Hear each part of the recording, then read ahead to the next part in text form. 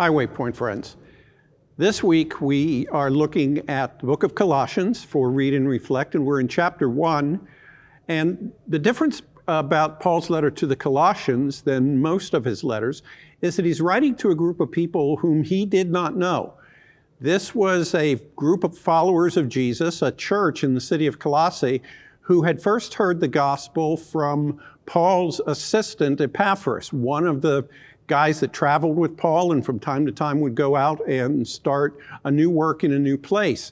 And Epaphras had come back and reported that things had gone well in Colossae and had told him about this group of Christians. So as Paul begins his letters uh, to them, he's uh, talking about his heart for them. And we pick up in chapter 1, beginning with uh, verse 9. We have not stopped praying for you since we first heard about you. We ask God to give you complete knowledge of His will and to give you spiritual wisdom and understanding. Then the way you live will always honor and please the Lord, and your lives will produce every kind of good fruit. All the while, you will grow as you learn to know God better and better. We also pray that you will be strengthened with all His glorious power, so you will have all the endurance and patience you need. It's interesting because rather than kind of an ambiguous uh, way of praying, Paul says that he prays three things very specifically for the Colossians. First of all, he prays that they would be filled with a complete knowledge of God's will, that in every circumstance, the Holy Spirit would give them clear guidance as to what God would have them to do in any given set of circumstances.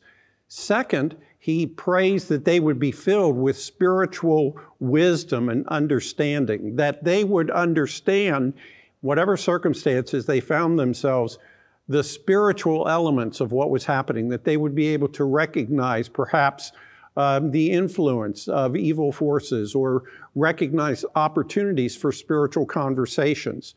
And then, third, he prays that they would be strengthened by God's power to have the endurance and the patience that they would need.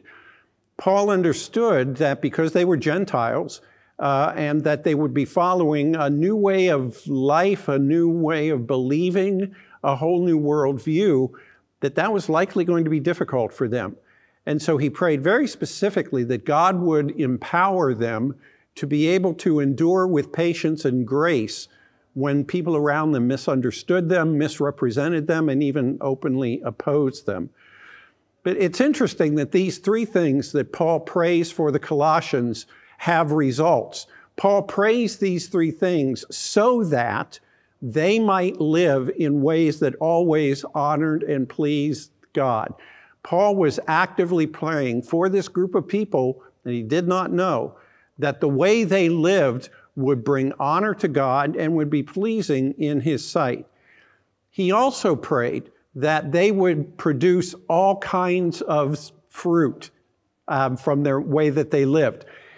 The New Testament talks about fruit uh, in three very distinct ways. First, there is fruit of character. In one of his other letters, Paul talks about the fruit of the Spirit, character traits such as love, joy, peace, patience, kindness, and so forth.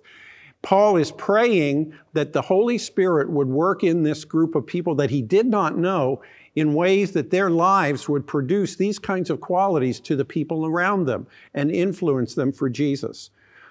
The New Testament also talks about the fruit of good works, deeds of kindness, deeds of compassion that would communicate love in ways that the people around them in, in the city of Colossae had never experienced. And finally, the New Testament also talks about the fruit of more disciples.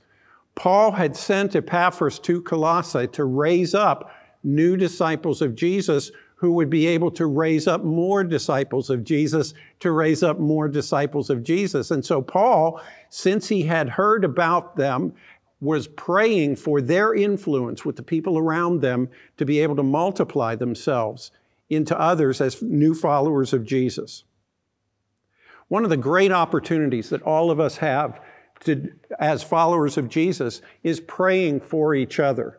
Um, and we can pray for things that need to be prayed for good health, healing from disease or injury, provision for financial resources or other practical kinds of things. But we also have this amazing privilege and responsibility to be praying for the spiritual growth and development of one another. We all have a stake in building each other up and asking God for His Spirit to be poured out on one another, that we would all grow more and more to be people who live the way that Jesus lived and to multiply ourselves into others. We even have the opportunity to pray for people that we don't really know, but we only know about. People whom we know are followers of Jesus, maybe close by us, but maybe all around the world. We can pray the same kinds of very specific things as Paul prayed for the Colossians. That's a real personal challenge for me and one that I'm going to be pursuing uh, as I think about this particular passage of Scripture. Hope this is encouraging and maybe challenging for you. Have a terrific week.